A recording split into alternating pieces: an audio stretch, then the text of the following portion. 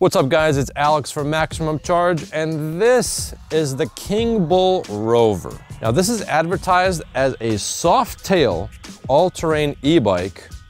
We're gonna talk about that in a second. And it does have some parts that I like. It's got the hydraulic brakes, it's got the dual crown fork, it's got a big front headlight. So there are parts about this bike that I like, and there's a few parts that could use some improvement. I heard a quote uh, from Seth over at Burn Peak, great channel, check out his channel. He said something along the lines of, for $10, you can either get a really good hot dog or a shitty lobster.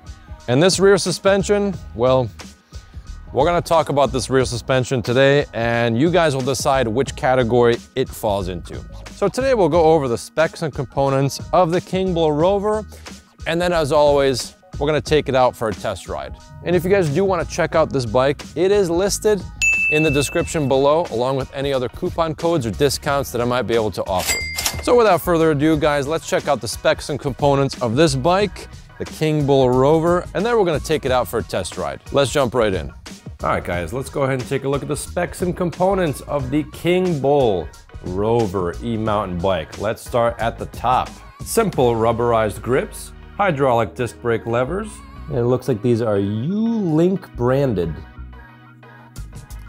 Basic control panel, we're gonna get into the display settings later. Bright minimalist display, seven speed Shimano shifter and a half twist throttle. And this bike does have a short stem with wider handlebars for enhanced off-road control. Moving on down, we've got our cable management and the dual crown fork, which is non-adjustable. Nice looking headlight up front, which looks like it is fairly powerful and will help you see at night. CST BFT 20 by 4 inch size knobby tires. And we also have 180 millimeter disc brake rotors in the front and back with the U-Link hydraulic disc brake calipers. And the front fork does have these bumpers to prevent the fork from hitting the frame. Plastic fender, integrated battery in the frame. Here's our charge port right here. And holding down this button will show you how much power is left in the battery. Battery also has an on-off switch on the other side. Basic plastic pedals. And this bike is advertised to have front and rear suspension. However, we're gonna talk about this rear suspension later. Seat is fairly wide and squishy. No rear light in the back, but you do get a reflector. And the bike also comes with this giant rear mudguard in the back. Seven speed Shimano shifter in the back, Shimano derailleur with a derailleur guard, and a medium-sized chainring up front. take the battery out, turn the key to unlock the battery, and then we can take the battery out. And here's our 48 volt, 17 and a half amp hour battery. Taking a look at the controller hidden inside the frame, we can see it is a 25 amp controller, which means this 750 watt nominal motor will peak at 1200 watts. Next up, let's take a look at the display. So to turn it on, you hold the power button down. Nice minimalist looking display. We've got our battery bar up top. You could cycle through trip distance, voltage, which is nice. I love that they have voltage, fantastic. Current, excellent that they have that. Your current times the voltage is gonna give you your wattage output, but I'm happy they have just the current as well. Time the bike has been on, and obviously your odometer as well. To turn the headlight on, you hold the plus button. To get into the advanced settings, you hold the plus and minus buttons down, where you can adjust your screen brightness, mile an hour or kilometer per hour, screen timeout, wheel diameter, P8 is your speed limit, and that goes all the way up to 41, which on pedal assist 5 will give you max speed of 31 miles an hour. And with this bike, you do get a 3 amp actively cooled charger that has a fan and exhaust in the back. And we also get this nice little toolkit in the box. Let's see what we get. Handy dandy multi-tool which you can carry with you for roadside repairs or you can use it to assemble your bike. Manual and a wrench and another wrench. Guys, here's what I look like on this bike at 5 foot 10. If I am sitting on the seat, I can pretty much get my toes down to the ground Although if I did remove this back fender and this rear reflector, I might be able to get an additional two inches lower on this seat. So if you are a shorter rider, this bike might be okay.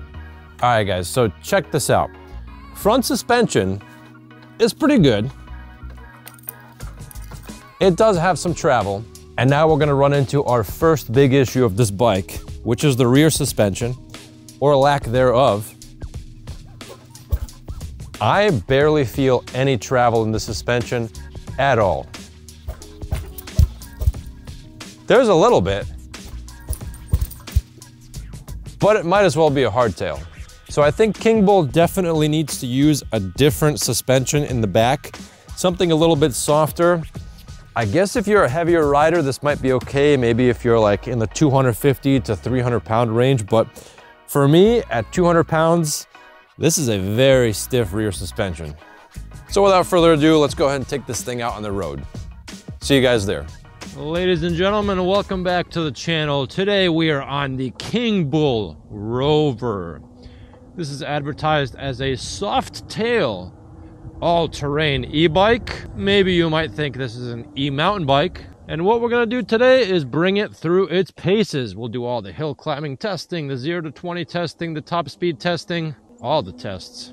And just for your reference, there is 30 psi in the tire. I am 200 pounds without a backpack. It's about 45 to 50 degrees. We are on a full, fresh charge right now. And we're going to test the 0 to 20 first while we have that full battery charge. Put it in PAS5. We've unlocked the top speed, full voltage, throttle only. Ladies and gentlemen, 3, 2, 1, go. A very soft start.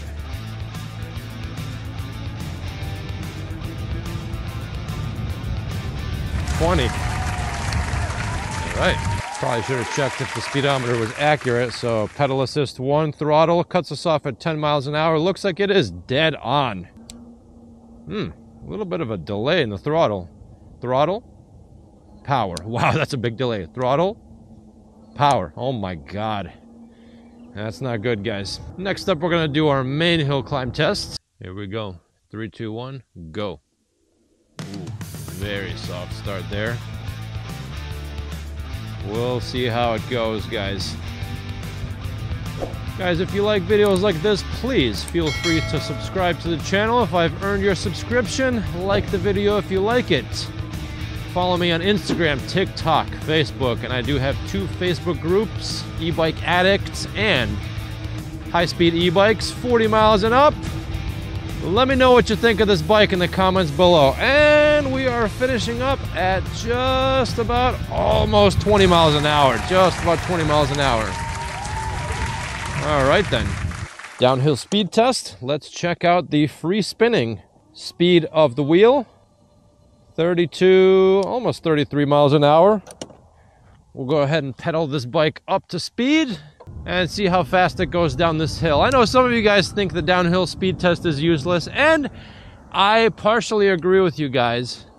But it's good to know because some motors have a higher RPM than others, and it's good to see where these bikes end up. All right. So down the hill, we're getting a solid 32. Looks like we're pretty much achieving the RPM of the free spinning wheel. I am pedaling right now at 30 miles an hour and I'm getting plenty of pedal resistance. That is fantastic. And next up, we're gonna slowly head on over to our steep hill climb test. This bike has wider handlebars. Let's see if I can make it through. Ah, there we go, yes. Little practice for some single track e-mountain biking. You guys think this bike would be okay on a single track mountain bike trail? Let me know in the comments below. All right, steep hill climb test. Come to a complete stop at this line. Throttle only. Wait for this car. Three, two, one, go. I don't know what you are doing, my friend, but we are going. 48 volts. And it does have the bigger wheels, which means it has a little bit less torque. Ooh. All right, can it make it? Six miles an hour. Oh my goodness. Oh, that motor struggling five miles an hour. Can it make it? Ooh, I'm like struggling to stay upright. Oh man, five miles an hour. it made it. All right, five miles an hour. Head on down. Let's go down to our top speed site. And for our top speed, we're just gonna do one direction. We're only gonna go down one way because I don't really think this is all that fast of a bike. My guess is that it'll probably get 28, 29. It'll stay somewhere in the legal limit for an e-bike. We're gonna get up to speed first and then duck down, throttle only. 27. Yeah, see? This is a pretty much legal e-bike. We'll pretty much just get to 28 miles an hour. Maybe if it was a little bit warmer. Maybe if I was a little bit lighter. But we're at 28 now, 27. So this is a 27, 28 mile an hour e-bike. And now we'll take it on our mini off-road course. In my opinion, I think this should be a hardtail. If this was cheaper and you got it as a hardtail, I gotta say, it would probably feel the same as it does right now because it does technically have rear suspension, but this thing barely is doing any work. It's not really doing a whole lot. I would have been perfectly happy if this was a hardtail, and maybe you guys can get it for cheaper. But it's, I mean, it's handling this just fine. I do hear some fender rattling. I don't know if it's the back or the front, but it's not bad. I think the wheels are doing most of the work here in terms of shock absorption and going over bumps, making them feel a little bit smoother. But we're hauling it, guys. It's doing it. For a budgety mountain bike, not too bad. That's where I fell in one of my videos. Something went through the grass here, some kind of truck, and it left some deep tread marks in here. I hit this edge in the wrong direction. So my tire ended up getting caught in the edge and I went down. It is what it is. I'll probably make the same mistake again because you know how it is. You don't make the same mistake twice. You do it three or four times just to make sure. Back we go on the off road course. Something is rattling. What's rattling? I think it's this front fender right here that's rattling. Yeah, I hear it hitting the wheel or hitting something. What are you gonna do? Some people don't even mount the fenders on this bike. I've seen some reviewers just leave them off completely, and that's fine. If you're gonna be mountain biking, some people don't want fenders, it's just more weight. Although you are gonna get some dirt on your back, of course and all over your bike from the front wheel. So it's always a trade off. What are you gonna do? Man, there is such a delay in the throttle, it's nuts. Like, sometimes I hit the throttle and I think something's broken, like something's not working. And then I realize it's just a delay. The power is okay on this bike. It's nothing to write home about. It's a 48 volt system, lower power, lower amp controller. This is a budget option, guys. So if that's what you're looking for, maybe this will be a good option. Crossing over, jumping the curb. Yeah, those big wheels help a lot. The big wheels are gonna do most of the work in terms of making bumps feel tolerable. Suspension is there. It's doing something. Yeah, it's doing something. Jumping off that curb pretty much felt like a hardtail pedaling this bike, I do get plenty of resistance, even after 25 miles an hour. I feel like I could pedal this thing up to 30 if I wanted to. The CST BFT tires, they are on the louder side. You will make your presence known with these tires. And as you can see, I am riding on the sidewalk and I don't feel bad about it because this looks like a normal bicycle. It has bicycle sized tires, a bicycle sized frame. Big bump right here. Ugh. Yeah, that could have been better with the softer suspension in the back. The seat comfort is okay, not too bad, although we're only five miles into the ride. You guys usually swap out seats anyway, so it doesn't really matter. The riding position is more on the aggressive side because after all, this is more of a kind of like an aggressive off-roader. You have more control with the handlebars when the handlebars are wider like this and they're lower. So you can ride this thing pretty aggressively and be confident in how much control you have. The handling feels fine. Doesn't feel quite as zippy as a 20 by 4 inch wheel sized bike, but those bigger wheels will make it easier to go over larger obstacles. Wow, a bumper. Okay. Someone lost the bumper. Let's keep testing the off roading. What? Handling the bumps pretty good. Could be better though. I do really like that it does show you voltage. And it shows your current also, so you can see how many watts you're using. So 17, 18, 20 amps. Let's keep going, guys. We'll try and uh, power through this steep hill. We're gonna pedal though, we're not gonna just throttle. We'll see how it does. Oh yeah, we're struggling. 22 amps, 21 amps, 19 amps, 20 amps. Yeah, we're pushing it. I'm using my legs. Just realized I forgot to do a brake test with this bike. 20 mile an hour brake test. Let's see how it goes. There we go. Well, hydraulic disc brakes, ladies and gentlemen. They do what they were designed to do. Ready? Again. Yeah. Back wheel locks right up. Front wheel stops you pretty good. Let's keep going, guys. We're just going to be doing a mini range test.